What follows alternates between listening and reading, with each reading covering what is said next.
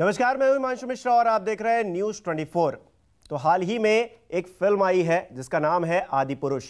इसको लेकर खूब हंगामा हो रहा है। इसके वीएफएक्स इसके डायलॉग्स को लेकर खूब आलोचनाएँ की जा रही हैं। इसी मुद्दे पर बात करने के लिए आज हमारे साथ रामानंद सागर साहब की जो रामायण थी, उनमें लक्ष्मण का किरदार निभाने वाले सुनील लहरी साहब जुड़े हैं। सुनील जी बहुत बहुत स्वागत है न्यूज़ 24 पर आपका। जयराम जी की, धन्यवाद। सुनील जी आ, क्या आपने फ़िल्म देखी? और फ़िल्म देखने के बाद आपको कैसा लगा? आप क्या कहेंगे? पहली प्रतिक्रिया आपकी क्या रही?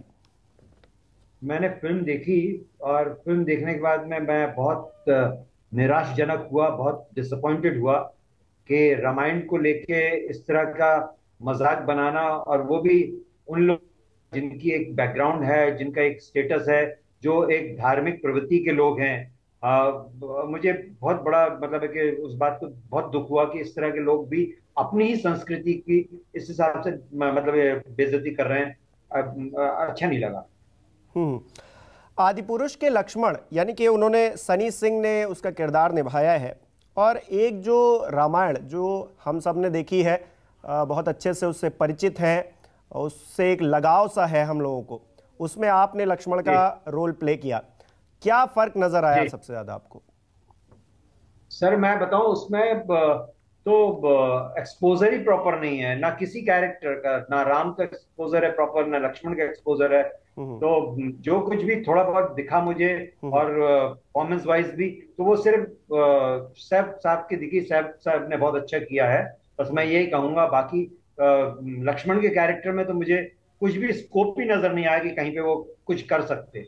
हम्म, फ़िल्म में एक जगह डायलॉग बोला गया है हनुमान जी की तरफ़ से कपड़ा तेरे बाप का तेल तेरे बाप का इस टाइप से। उस डायलॉग को लेकर क्या कहेंगे? मतलब एक आदि पुरुष फ़िल्म का नाम है और उसमें इस तरह के डायलॉग्स यानी कि इस तरह की भाषा शैली का इस्तेमाल बजरंग बली कर रहे हैं। क्या कहेंगे?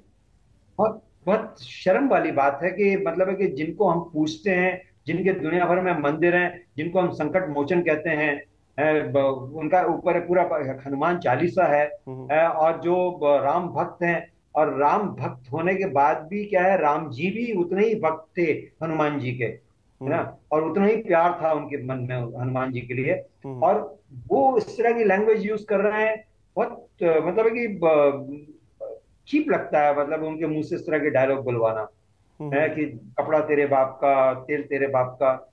आपको ढावा नहीं पड़ी हम लाइक कैन कैन इवन से इमेजिन कि हनुमान जी इस तरह के डायलॉग बोलेंगे। लेकिन फ़िल्म में क्योंकि उनसे बुलवाया गया है आ, लेकिन अब ये कहा जा रहा है कि उन डायलॉग्स को हटाया जाएगा और जिन डायलॉग्स को लेकर आपत्तियाँ हैं लोगों को उनको वहाँ से कट किया जाएगा। क्या सिर्फ़ डायलॉग्स हटा देना मात्र काफ़ी होगा आपको लगता है? एक बार आघात कर दें किसी को और फिर उसके बाद में कहें कि सॉरी और मलम पट्टी कर दें तो हम्म। वो चीज़ ठीक तो हो नहीं सकती ना। हम्म, हम्म। कहीं ना कहीं दिल में वो जख्म का उसका वो एहसास तो रहेगा ना। तो वैसे ही अगर आपने पहले चीज़ तो गलती नहीं करनी थी और गलती की है उसको मान रहे हैं ठीक है अप्रिशिएबल है बहुत सराहना की करनी चाहिए कि वो उन्होंने गलती मानी है। तो इसका मतलब कहीं ना कहीं गलती की है तो मान रहे हैं ना अगर गलती नहीं की होती तो मानते ही नहीं गलती। इस तरह की गलती उन्होंने नहीं करनी चाहिए थी। इतने सुलझे हुए लोग हैं सारे के सारे इतने समझदार लोग हैं। पर कैसे इस तरह की इतनी बड़े ब्लंडर कर ली? उन्होंने ये नहीं सोचा कि इस देश के जो जनता है इस देश में जो मतलब एक भावना है लोगों की वो आस्था है लोगों की उस आस्था के साथ में इस तरह का खिलवाड़ कर रहे हैं। जब फ़िल्म आई जब फ़िल्म आई तो जी। कि लोग जागरूक हुए हैं हम्म। और उन्होंने ऑब्जेक्शन उठाया है हम्म। अब, अब अभी से पहले तक लोग सिर्फ़ आपस में बात करके चुप रह जाते थे पर इस हम्म। बार उस जागरूकता के लिए मैं हर उस इंसान का मैं धन्यवाद करता हूँ उस इंसान को प्रेस करता हूँ कि इस बात को लेके उन्होंने उठाई है ऑब्जेक्शन और वो ऑब्जेक्शन जस्टिफाइड भी है और उस ऑब्जेक्शन को आ, करना चाहिए और इसी तरह जागरूक रहना चाहिए हमारी संस्कृति हमारे कल्चर को अगर कोई ठेस पहुँचाने की कोशिश करता है तो जागरूक होके उसका सामना करना चाहिए और उसको रोकना चाहिए कि बस अब this is now time you should stop here now